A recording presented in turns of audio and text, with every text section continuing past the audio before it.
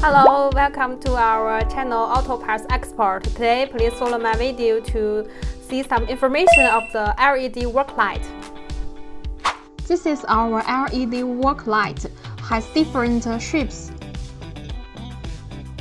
and, and have different thickness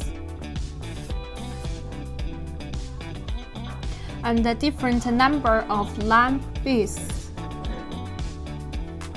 Let's start our product showtime. We use fine tap heat sink. It can dissipate heat better.